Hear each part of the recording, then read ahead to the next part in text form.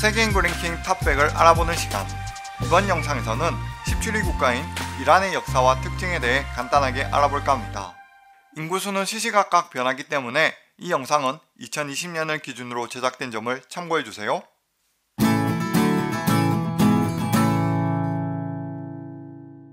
세계 인구 랭킹 17위 국가는 약 8,500만 명의 이란입니다. 이란은 아라비아 반도와 인도 대륙 사이 페르시아만 연안에 있는 나라로 동쪽으로는 아프가니스탄과 파키스탄, 서쪽으로는 터키, 이라크 등과 접해 있는 국가입니다. 면적은 약 164만 제곱킬로미터로 대한민국의 16배 정도의 크기입니다. 이란의 수도는 테헤란으로 1925년에 수도로 선정되었고 세월이 흐르는 동안 인구 팽창과 시가지가 넓어지면서 흑벽과 골목길로 이루어진 구시가와 밝고 현대적인 유럽풍의 신시가가 대조를 이룹니다. 서쪽 교외의 가라지 강의 댐이 건설되어 전력이 풍부해짐에 따라 현대공업이 발달하고 상업 면에서는 오리엔트 최대라 일컫는 구시가의 바자르를 중심으로 도매 소매업이 성하며 근대적인 상가는 신시가에 분산되어 백화점과 슈퍼마켓 등이 분포되어 있습니다.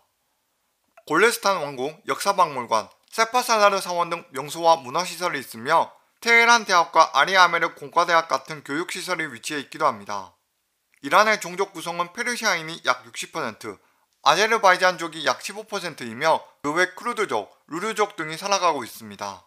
이란의 1인당 GDP는 2019년 기준 약 5,500달러로 이는 자메이카, 알바니아와 비슷한 수치로 세계 100위권 내에 포함되어 있습니다. 이란의 역사는 기원전 4000년경부터 거주 흔적이 있고 당시의 선사시대 유적이 많이 남아있기도 합니다. 이란 고원에 처음으로 등장한 국가는 기원전 6세기 중엽의 아케메네스 페르시아입니다. 당시 오리엔트 지역의 4대 강국 중 하나였던 메디아 왕국의 속국이었던 페르시아는 키로스 2세의 독립전쟁으로 인해 메디아 왕국을 멸망시키며 페르시아로 합병하였고 이어 4대 강국의 나머지 국가들인 리디아, 신바빌로니아, 이집트를 차지하게 됩니다.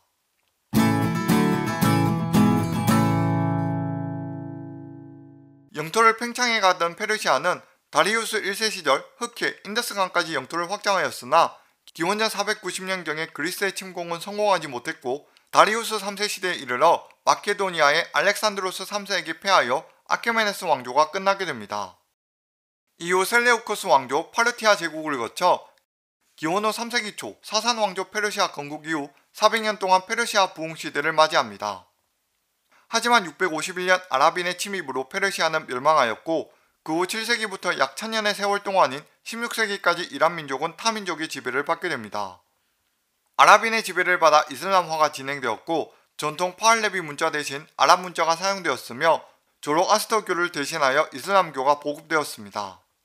1502년 이스마일 1세는 투르크계 부족들의 지원을 받아 백양 왕조를 격파하고 우즈베크, 투르크와 연합하여 강력한 이란 민족 국가인 사파비 왕조를 세웁니다.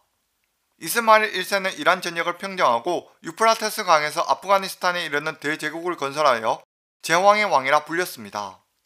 시아파 이슬람교를 국교로 세운 사파비 왕조는 오스만 제국과의 분쟁을 시작으로 순위 이슬람 세력과 끊임없이 대립했습니다.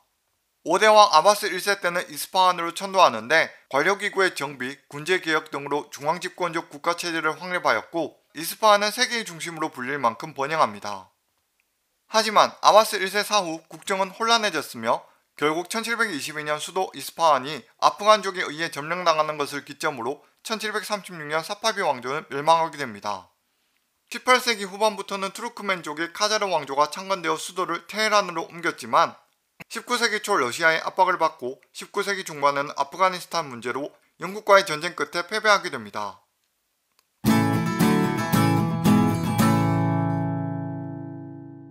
제1차 세계대전 중에는 중립을 선언했지만 국토는 전쟁터화되었고 그 결과 이란에 진출하던 영국, 러시아에 밀려 반식민국가 상태를 면치 못하게 됩니다. 결국 1919년 페르시아 영국 조약으로 영국 보호령이 되지만 이에 한간 이란 카자크 병단의 대장 레자한이 정치개혁을 일으켜 카자르 왕조를 무너뜨립니다.